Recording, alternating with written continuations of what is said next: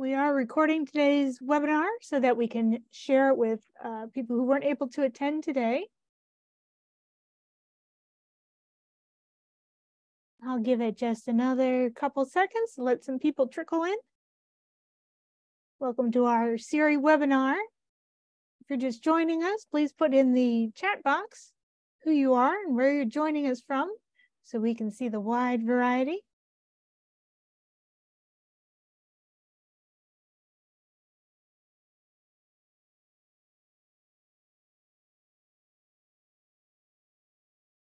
Okay, let's get started.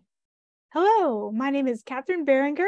I'm Director of Appraisal and Description at the Maryland State Archives, and I'm also co-chair of the CoSA SERI Education and Programming Subcommittee.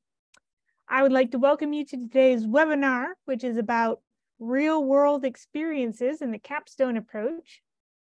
Before I introduce our speakers, uh, we're going to do something a little different today. Um, if you'll bear with me, I'm going to take this opportunity to have you all answer two short poll questions. Um, we at SERI are always trying to make sure that in planning these webinars, we're covering the topics that interest you. So uh, we do have some questions here for you today. Uh, there's a couple possible topics and we're interested to know how much they interest you. Uh, so please rank them, one being least interested and five being most interested. And then we have another more um, open-ended poll to give you an opportunity to tell us what topics you would like to hear about and what um, speakers you'd like to hear if there were any particular speakers in mind.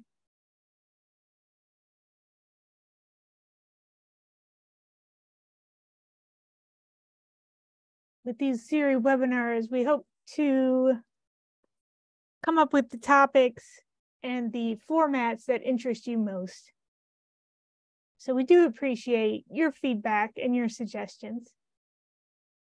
And if any of you are interested in being a speaker yourself, we would be more than happy to talk with you.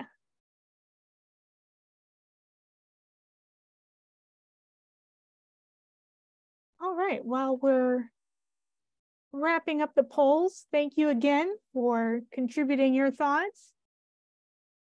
I would like to introduce you to our speakers today. And um, we will be taking questions at the end of the webinar, but please do feel free to type your questions at any time into the chat box. Today we have three speakers. Brian Brown is the Business Systems Analyst, TRIM Administrator for the City of Portland Archives and Records Center.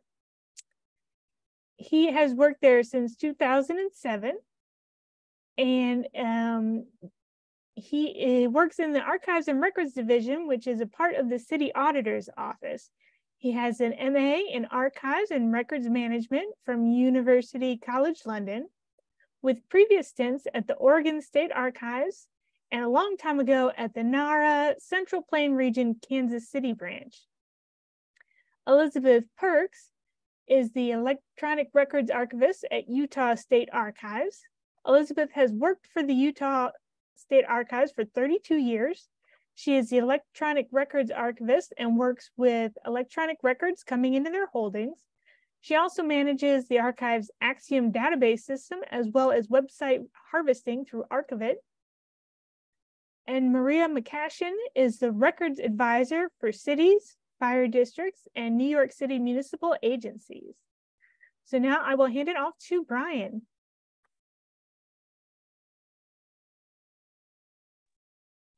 Thank you, Catherine. Uh, so just to set a baseline here, we do have the definition of capstone. Um, so I'll just read that here. Uh, and capstone, of course, came out of the uh, out of the National Archives and Records Administration. Um, I believe published uh, they published a white paper in April of 2015, um, and where they laid out their capstone con concept. So, reading here, capstone is an appraisal technique in which whole email accounts of people in decision-making positions are captured instead of having users separate their email by content The question then becomes, how do you go about capturing whole email accounts and transferring them to the archives? So we can go to the next slide. So I'm Brian Brown uh, at the City of Portland. Um, I'm going to talk about our capstone effort, which is actually one I would say of a failure to fly, so to speak. We didn't quite get there in the end. Uh, and there's several reasons uh, I have developed for that, I think. Um, so this was this is one that didn't quite uh, take off. Um, I must first uh, give some credit to my uh, former colleagues, Max Johnson and Tim Hunt, who spearheaded the effort at the city and uh, who also left excellent uh, documentation that a lot of my, my words and thoughts have come from uh, about the, the capstone processes, uh, intents, and um, and what was and progress. Uh, so with that, uh, let's let's let's dive in. Uh, next slide, please. So it's just some city facts in brief. Uh, population of the city is 641,000. There are 2.5 million people in the metro area. City employees total uh, about 8,700, which includes part-time and seasonal. Uh, employees with email accounts is around 7,200.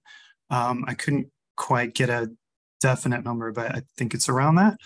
And then a city, our city form of government at the time of our capstone project uh, was a commission form of government, which means we have four commissioners that are elected and uh, and a mayor.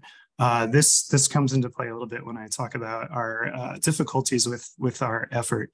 Um, this was voted out in 2022, so it's a it's it's quite a change for Portland, and uh, that uh, we'll talk about that more later. Uh, next slide, please. Uh, so the cast of characters in my my brief tale, Archives and Records Management Division, uh, where I work as a business systems analyst, um, the city attorney's office, and also our uh, city IT. Um, our email environment is uh, Exchange, Office 365, I guess now M365. Uh, so that's that's our our uh, technical environment for for uh, email management. Uh, next slide, please. So the capstone beginnings uh, at the city go back to a joint effort between the city attorney's office and archives and records management uh, under something we call the Legal Records Management Project. Um, this was convened in 2017 to look for a solution to simplifying email management around the city. Um, many of us uh, as public employees getting fire hosed with email and uh, it was recognized that making individual decisions about every email became uh, uh, very burdensome is, is very burdensome for folks. Um, and so that was out of that project was the beginnings of, of our efforts. And I found, I found a little quote from a, from a document from the LRMP project um, I included here. I'll, I'll read that. The increasing designation of electronic records as the record copy, as well as the continually growing volume of email that the city is responsible for managing, has made it necessary to explore other email management strategies to improve compliance with state and city record keeping requirements. So we quickly saw after the publication of the NARA white paper um, as um, we quickly saw capstone as, as worth exploring at the city. Um, so we we began that, that exploration in, in 2017. Uh, next slide, please. So our approach uh, to Capstone, we branded CORE, uh, C-O-R-E, which stood for Capture, Organize, Retain Email. Uh, it makes a nifty visual pun you can see on the right. um, getting down to a, a, core sample, getting down to the core of things, what we what we need to retain, what can go away. Um, so that that was our our branding for for Capstone was core. This was launched. Um, the project was launched in earnest during two complementary um, Bureau streamlining projects. Uh, one was a job classification study being undertaken by our, our uh, Bureau of Human Resources. And the second was our own retention schedule uh, simplification project, where we took, um, we had 4,000 schedules, many of them duplicative, and we were able to boil those down to around, I believe, 600 or so. Uh, so these were thing, these two projects were happening while we were engaging in core um, and definitely lent, lent themselves to, to the process. Uh, next slide, please. So our approach to core, we ended up uh, settling on retention periods being uh, four-year, 10-year, and permanent. Um, we looked at uh, we try to encompass dynamic triggers with records where you may have a record that is triggered by an event, uh, being a project closed or uh, perhaps the employee separation date, uh, and try to kind of encompass that triggering event into, into the retention period. So ours were slightly longer, I believe, than, than the federal uh, categories. Um, and also we have we have just two that are um, less than permanent rather than three. Uh, over here, the, the little uh, screenshot there to the right actually shows the work of the records analyst doing some of that mapping uh, from the job uh, classification specs. Um, actually plugging in, you know, this this position should be subject to four year, um, this one to 10 year. Um, and all of this is with the intent, of course, to provide um, our our best, you know, kind of our our best guess, so to speak, to a bureau for their review before an actual implementation. So this wouldn't be law. This would be something we would take to a bureau before before an implementation of of core uh, to their users. Uh, next slide, please. So we um, developed our pilot and um, realized it should be at least uh, two phases. Uh, so phase one uh, would be just a basic uh, proof of concept against uh, test accounts. Um, that way, we're able to see the behavior of the um, of the Microsoft functionality. Um, we, of course, weren't going to wait around for four years to see if something was going to to operate on that. So we our test accounts were set up, I believe, to two days, four days, and permanent. So we could see, of course, much more uh, real time. Um, you know, if the if the functionality is is working as as we expected um, within within Exchange. Phase two would be the pilot uh, itself. Uh, there would be 50 users across across bureaus. Um, and we would have volunteer, and basically would be volunteers who who would who would uh, agree to join the join the effort. Uh, next slide, please. So while we had our um, our proof of concept uh, scheme basically laid out, we developed um, quite a bit of administration documentation for the core uh, project and really going into the functionality of the um, Microsoft uh, tool, which is um, messaging records management at the time. Uh, it's still a mouth mouthful for me, um, but the manual put together by um, by the records analyst at the time um, really dove into how the uh, the MRM works with default policy tags um, and also retention policy tags and these are applied to uh, you know um, standard folders in an email account like inbox, um, calendar, and then also um, how that how the how it behaves with user created uh, folders. So this documentation um, really lays out how that, that functionality works. Along uh, with that, uh, next, next slide, please. We created um, documentation for our volunteers. Uh, so we had toolkits for both four-year and 10-year folks. Um, that's way that they could actually look at the toolkit and understand what would be happening uh, when the core uh, was applied uh, to their email accounts. Um, also a way for them to report on results. So we could take those results in and make adjustments, um, understand uh, the behavior of the functionality more. Uh, so this was also a lot of background work uh, that we had done uh, for our pilot. Uh, next slide, please. Um, so we submitted our uh, project to IT. Um, here, just a little snapshot of the project intake form. Next slide. So just to summarize where we were, um, we, we had created our um, administration documentation, uh, all the volunteer uh, documentation as well, and we were ready with our surveys to um, to pull those folks on on how core was working for their for their email accounts. Our proof of concept project was approved uh, to move forward. Um, and test accounts created for that proof of concept project um, we felt we were we were ready to go uh, so uh, next slide please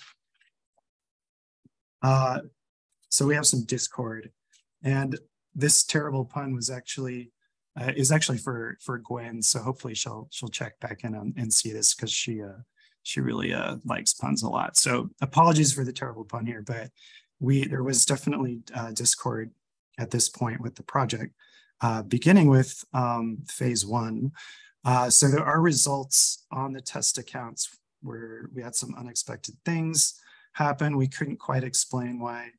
Um, some emails were were retained, uh, even emails that were dated 10 years that should have gone away, uh, according to a four-year uh, default policy tag stuck around. So we just, we had a lot of questions out of the proof of concept that we couldn't really get definitive answers on. Um, recognizing this um, complexity of the functionality and, and just gaps in understanding, it was decided that phase uh, two should become a separate project due to, due to this. Um, when we submitted it as a separate project, the cost estimate provided by our T folks rose way beyond our budget for, for the entire project, uh, which really pushed it um, beyond our $10,000 we actually had allotted. Um, and some of this budgeting, I will actually, I'll talk about in the next slide, please. So getting to uh, the key sources of difficulty, with that cost estimate for the for the phase two, it basically caused us to table um, our project. We, as I said, we had ten thousand dollars allocated for it. Uh, the estimate came back as as more than double that to to take into phase two. Um, so project was tabled why did this occur? Well, there were a number of things I think that happened along the way.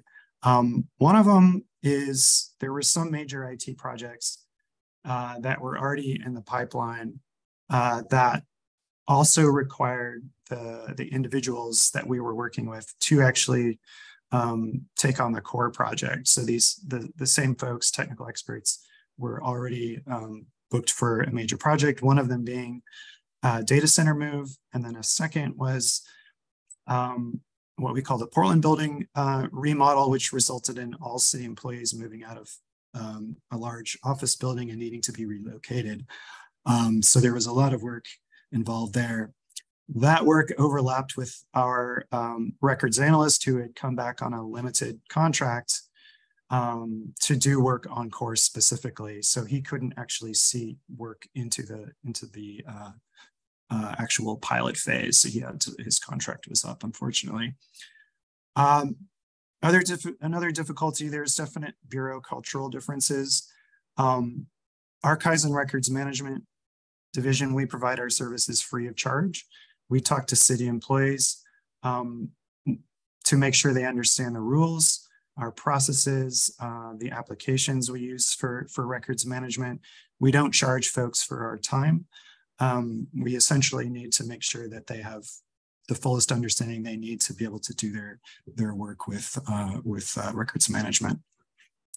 Our IT folks are on a, um, on a billing basis, even for other city bureaus. So we, we essentially hire them to do work, even if the work involves um, a large, you know, if it's multi-bureau, and there's a little bit more on this uh, below. Also, there is that we we found there's a definite learning curve of technology. Uh, specifically, you know, we were in the Exchange Office 365 environment for email. Um, the way the uh, messaging records management functionality worked, um, we didn't have a working a test environment for that. So we couldn't really go in and see the behavior ourselves we had to ask our IT folks, our exchange administrators to set things up for us. So we were learning on the way. They also, while being excellent exchange administrators, had not really explored this functionality. And so they were also learning on the way. Uh, so that was that was definitely a uh, source of difficulty for us.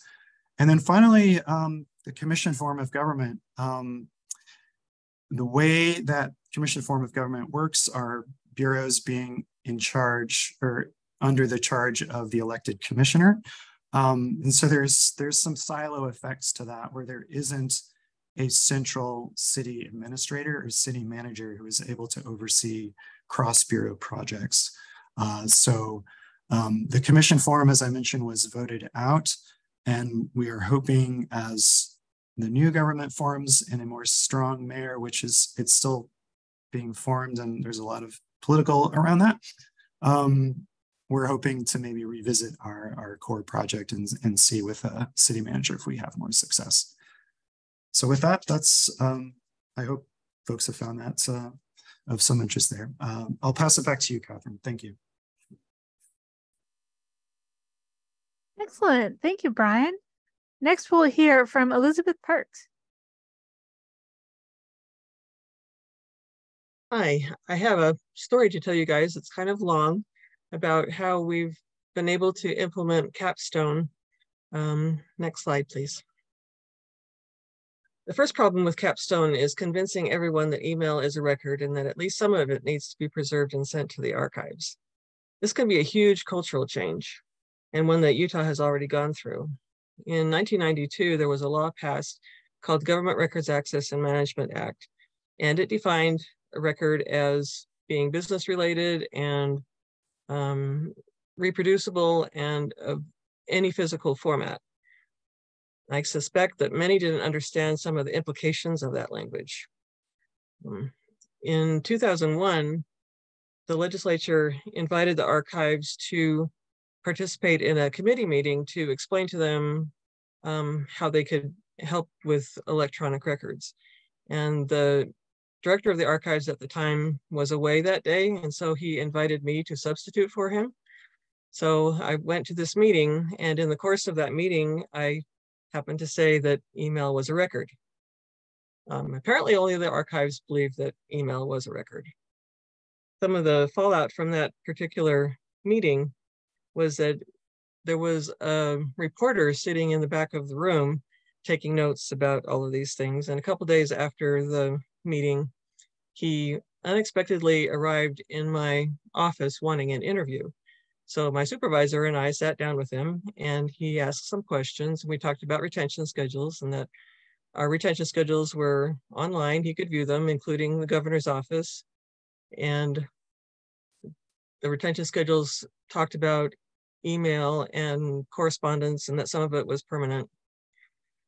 And a couple of days later, the weekend edition of the paper, on the front page of the Sunday paper was an article about how governor wasn't saving his email when he should have been.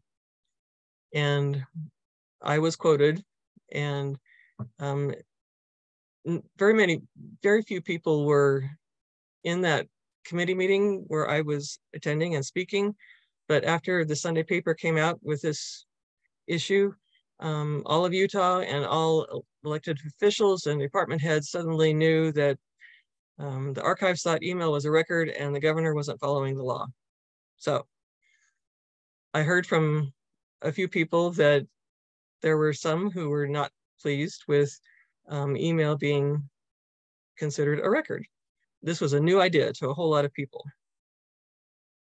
Well, the media decided to request records from the governor's office to um, gain access to his email, but he had been deleting all of it. And so they filed the lawsuit. And eventually, a couple years later, the governor reversed course and set in a policy that said, yes, email is a record and that it needs to be kept. Next slide, please. The policy change acknowledging that email was a record did not really change all hearts and minds. There was still tension. Then in 2011, the legislature decided to amend GRAMA in a way that kind of cut to the heart of transparency and openness. The bill passed and the governor, who was a different governor from 2001, signed it. When the public found out, it caused immediate fury and became issue number one for all media outlets. Protesters took to the streets. Both Republicans and Democrats outside of the legislature were opposed. I remember specifically when the very liberal mayor of Salt Lake City and the very conservative leader of a right-wing lobbyist group stood together and denounced the changes. The governor wanted to meet people halfway, have a new look at the changes, and talk about them during legislative interim meetings, but there was too much pressure. Four days later, the governor called a special session of the legislature to repeal what they had just passed. Next slide, So the legislature learned something from this experience. The public does actually care about records and record keeping. They want to know what government is up to. Later legislation strengthened the training of records officers so they would know how to properly respond to records requests. An open records portal was created to streamline requests across all governmental entities. Next slide, please. So every day, records officers now respond to records requests from the public, including for email. Every public servant knows that their email can be requested. This means that sending email accounts to the archives after someone has left office is just part of the routine process of records management. So we like Capstone. Now in the early days, we had a problem with the email system that we were using and that was actually technically difficult to export data. Um, so we had to come up with a different solution. Next slide. If we fast forward a little bit in 2013, we were contacted by a small town in southern Utah who could no longer access their email accounts through their normal interface. They had forgotten to pay their internet service provider bill and the ISP sold their domain name out from under them. Their email was held in Gmail, but it was difficult for them to access it directly because their domain name was different than at gmail.com. Their IT guy had a backdoor way to get in, but that wasn't a permanent solution. So they asked us if we could somehow export their data so they could see it again. Fortunately, the state had just barely migrated all email accounts from Novell GroupWise to Gmail, so we had some existing infrastructure we could adapt for this purpose.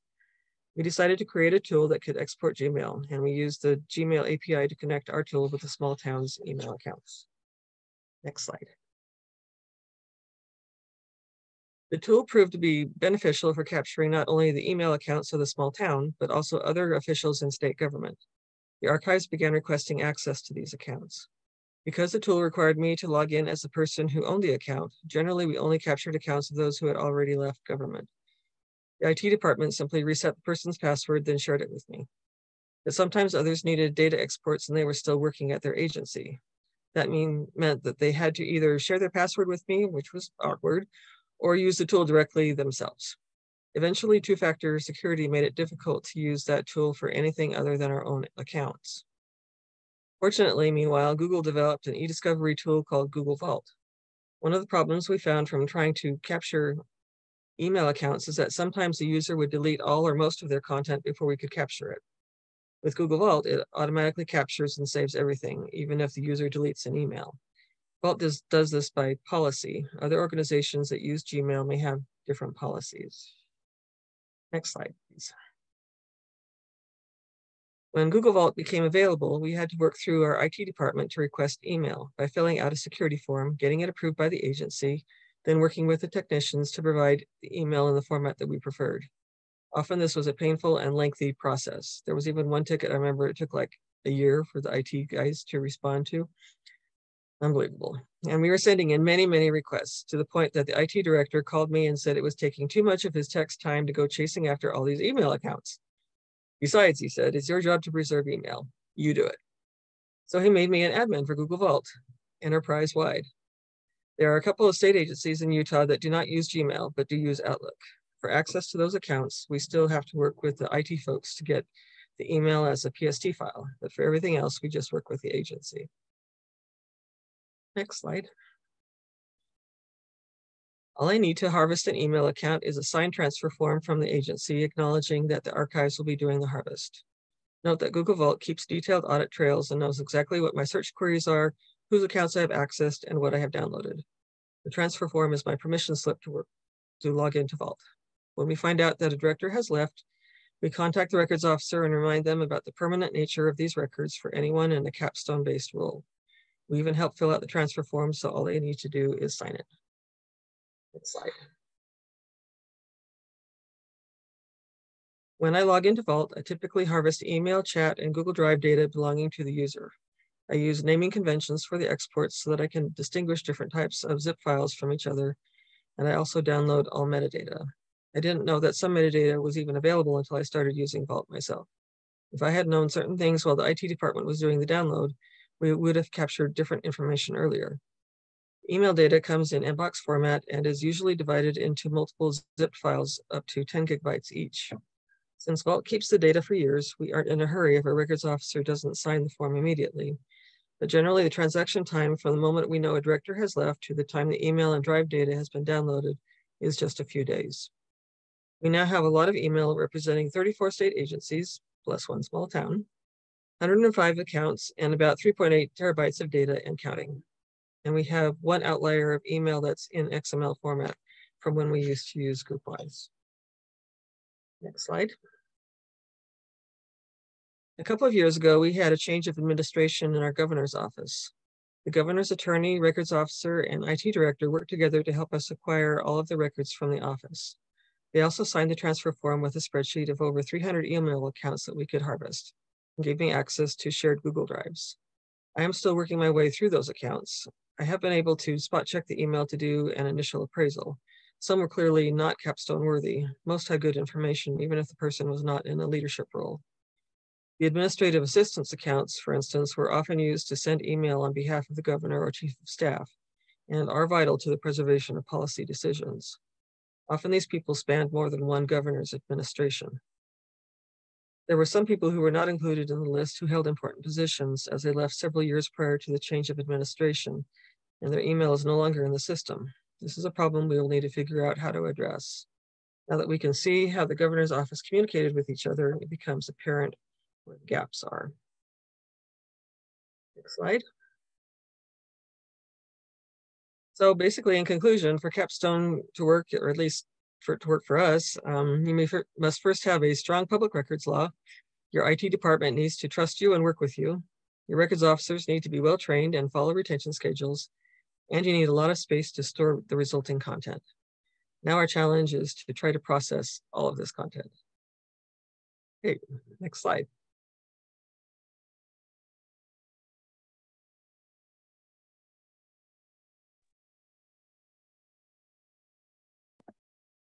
Good afternoon. Thanks for the opportunity to share how the New York State Archives used Capstone to manage the email of the State Education Department and to provide guidance on email management to other agencies and local governments. The State Archives is a program unit in the State Education Department. Next slide, please. So some background. Before 2014, the education department used GroupWise email, but that software did not have capabilities to handle email management. The policy that we had under GroupWise was that IT deleted emails after 90 days. and staff were encouraged to delete personal and non-record emails and remove any emails that needed to be kept longer than 90 days to another storage system or save them in their GroupWise archive. IT also put holds on emails of users that were part of litigation, and staff were responsible for finding information needed for litigation. Next slide. In 2014, the Education Department transitioned over 4,000 email accounts to Office 365, partly because it did have email management capabilities. The State Archives staff worked with Education Department IT staff to implement a strategy using Capstone as a model. And during the transition, IT identified staff involved in litigation, and they converted those emails and archives to Office 365. They also notified all other staff and gave them instructions to copy their GroupWise archive to the network, and then IT would migrate those archives to Office 365.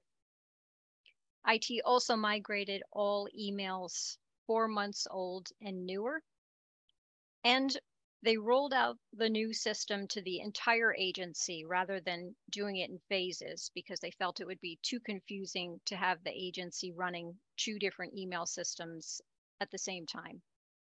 Next slide, please. IT met with heads of agency program units, also known as deputy commissioners' offices, and the state archives. And together they reviewed existing retention schedules, they identified retention categories based on program units, and uh, they determined the longest retention period anticipated for email created by a single unit. Next slide. And so this is what we came up with. The capstone model helped us to apply rules by program unit and help helped us determine the longest retention anticipated for email in that unit. So the education department assigned accounts of the commissioners, the deputy and assistant commissioners and counsel staff, and any position designated executive staff with permanent retention. So if any of those individuals left the organization, their email accounts would be transferred to the state archives. Human resources staff and any staff part of labor relations disputes were assigned a retention of 10 years after separation of service. And all other staff accounts, including interns and volunteers, were assigned a retention of seven years after separation from service. Staff were also still encouraged to delete personal and non record emails unless their accounts were part of a litigation hold. And those with non-permanent accounts had to move any emails with a retention period longer than the retention assigned their account to an appropriate filing system. So ideally somewhere electronic, a central location that's backed up regularly. Next slide. To help with email management, some additional retention periods were assigned. So deleted items such as personal and non-record emails and junk mail were assigned automatic deletion after 14 and 30 days respectively. So this was an auto delete function set up by the system administrator that staff could not change. All other email and calendars were set with an auto archive after 180 days, and staff were allowed to make that period shorter or longer. Staff could also delete emails within their archive. And if staff were subject to litigation, a hold was placed on their account. And after litigation was complete, the normal retention was applied. Next slide. HR updates IT regularly on staff with disabled accounts. So these would be staff who left the agency or had a litigation hold placed on their account. And IT would create a list like the one you see that includes the name of the account holder, their program unit within the agency, the retention policy on the account, when it was disabled, and also any notes from IT or counsel. This uh, list like this would be or is distributed to program unit heads, to a representative from HR, and to a representative from the state archives for review.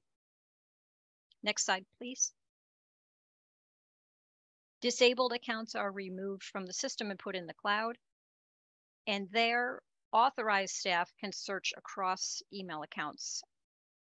Accounts can be returned to the system if needed.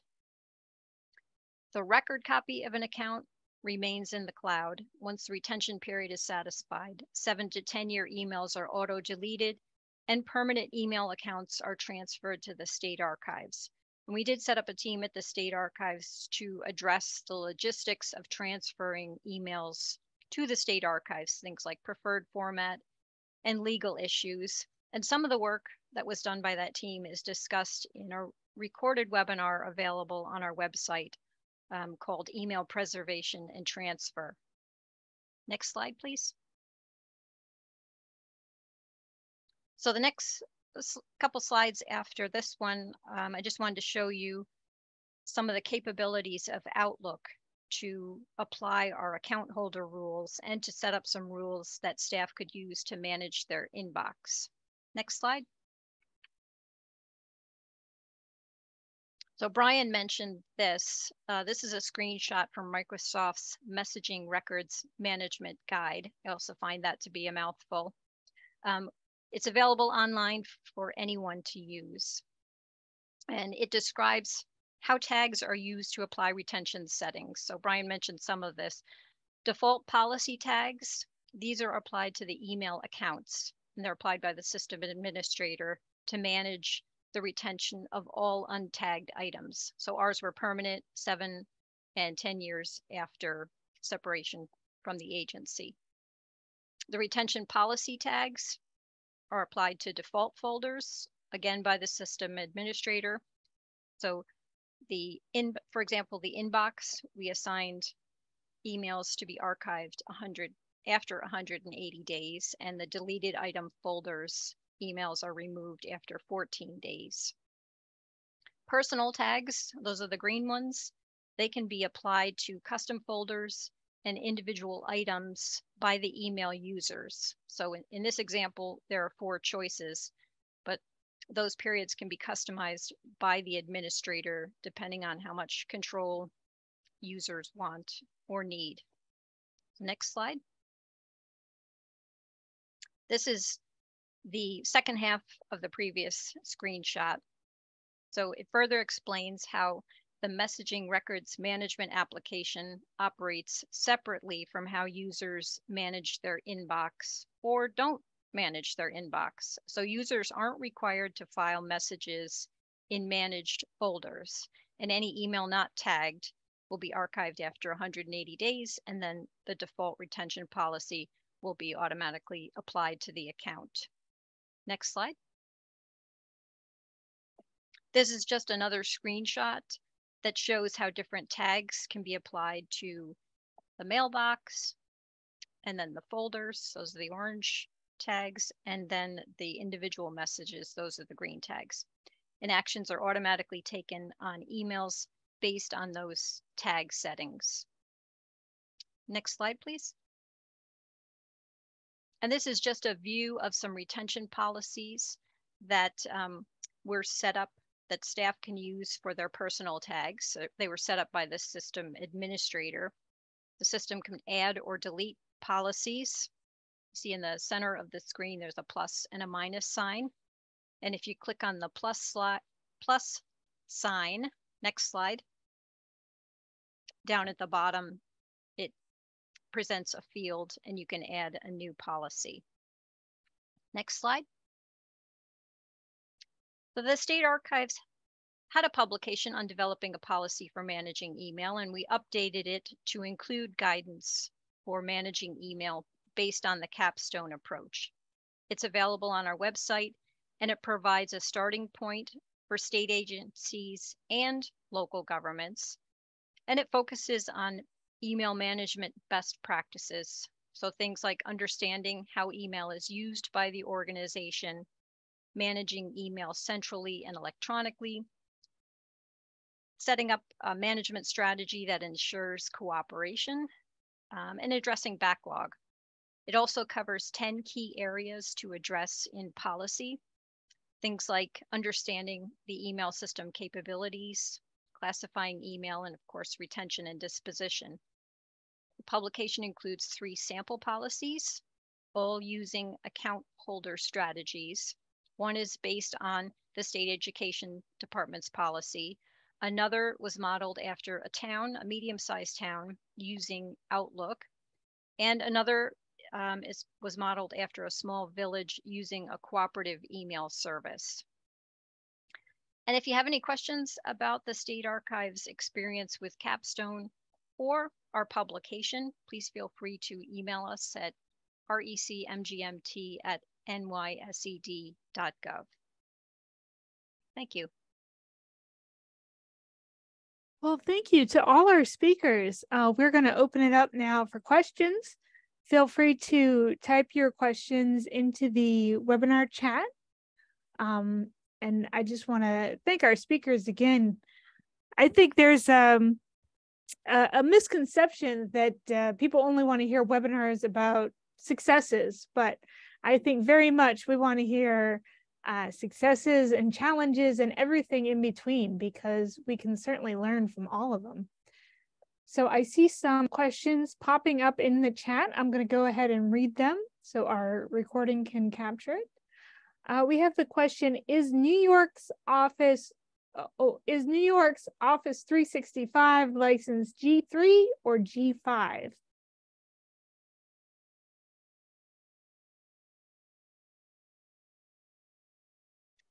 I, I honestly couldn't tell you. And uh, it's changed since uh, this presentation was created. Um, but I can find out for you and I'd be happy to let you know if you want to send me an email. Yes, it seems like these things are constantly changing. All right, another question. How are the organizations handling disposition of emails from still active email accounts? Are email just automatically deleted from active email accounts when the retention length is met and no holds have been applied?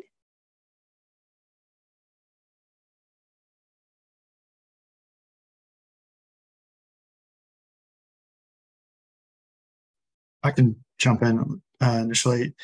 So yeah, our I mean our intent or vision for for core slash capstone was to was to apply to active accounts. Um, once the app, you know, once a user was notified, you know, there would be a certain um, time period, maybe 180 days, to allow them to review uh, their accounts for messages that would have already met their their retention period um, and either delete, you know, they can delete, leave them there and let the policy do its work, or uh, they would need to do the work of moving them into, um, you know, the proper uh, filing place for that, for the content of that email. If it's related to contracting, storing it with contracting records, if it's related to policy. Um, so that would, our, our vision was to give them time to, to work through um, before the actual um, before things would start rolling off according to the to the retention.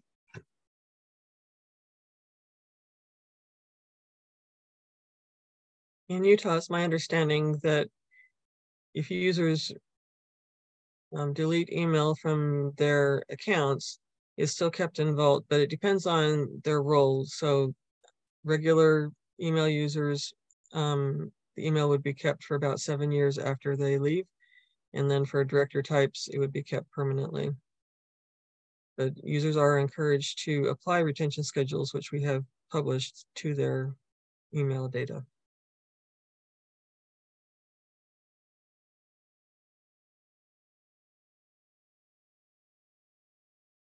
It's a challenging aspect of, uh, you know, records management really only works if it's an ongoing, always happening process.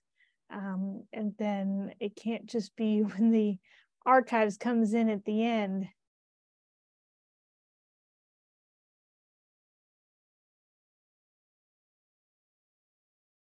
I think um, our speakers today also really highlighted how uh, just different conceptions, like what is a record between different groups of people, really plays into this conversation, as well as just the different ways that different uh, agencies work, like the archives as opposed to IT functions.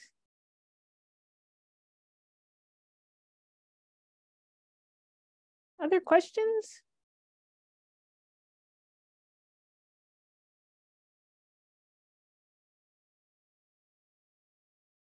If additional ideas have occurred to you of what you want future webinars to cover, uh, feel free to enter that into the chat box as well. We're always looking for topics and speakers.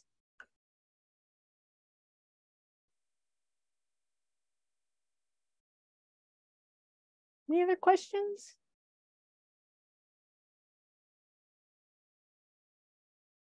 All right. Well, thank you again to all three speakers. And thank you, audience, for joining us. Uh, please keep your eye on our website for upcoming SERI webinars. We're also hoping to uh, vary up the format a bit in future webinars uh, to allow for more discussion and kind of an open conversation. Here are the places where you can keep informed of what SERI and CoSA in general is up to. And we also have our YouTube channel where we put recordings of the webinars uh, and other educational videos. All right, well, thank you everyone for coming. Have a good rest of your day.